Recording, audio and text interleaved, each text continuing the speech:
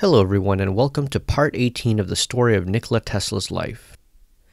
Tesla made the rounds in New York trying to find investors for what he thought would be a viable system of wireless transmission, wining and dining them at the Waldorf Astoria's Palm Garden, the hotel where he was living at the time, the Players Club, and Delmonico's. In March 1901, he obtained $150,000 from JP Morgan in return for a 51% share of any generated wireless patents and began planning the Wardenclyffe Tower facility to be built in Shoreham, New York, 100 miles or 161 kilometers east of the city on the north shore of Long Island.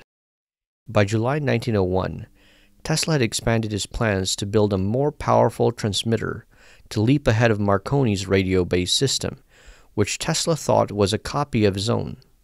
He approached Morgan to ask for more money to build a larger system, but Morgan refused to supply any further funds. In December 1901, Marconi successfully transmitted the letter S from England to Newfoundland, defeating Tesla in the race to be the first to complete such a transmission. A month after Marconi's success, Tesla tried to get Morgan to back an even larger plan to transmit messages and power by controlling vibrations throughout the globe. Over the next five years, Tesla wrote more than 50 letters to Morgan, pleading for and demanding additional funding to complete the construction of Wardenclyffe. Tesla continued the project for another nine months into 1902.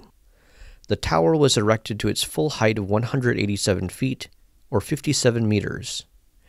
In June 1902, Tesla moved his lab operations from Houston Street to Wardenclyffe.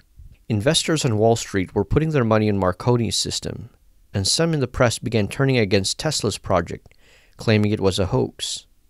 The project came to a halt in 1905, and in 1906, the financial problems and other events may have led to what Tesla biographer Marc J. Seifer suspects was a nervous breakdown on Tesla's part.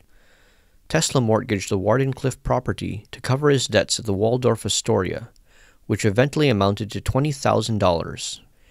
He lost the property in foreclosure in 1915 and in 1917 the tower was demolished by the new owner to make the land a more viable real estate asset. Thank you for listening to this session of Nifty Narrated Stories. For more information about where this content was sourced, please refer to the description below. If you enjoyed today's session, please don't hesitate to like and subscribe for more great stories. Thank you for joining me, and I hope you all have a great day.